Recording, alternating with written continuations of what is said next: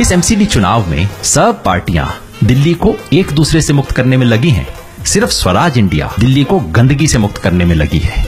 आप भी हमारे साथ हैं ना? एमसीडी चुनाव में आप भी विसल बजाएँगे ना? स्वराज इंडिया के लिए मैं योगेंद्र यादव।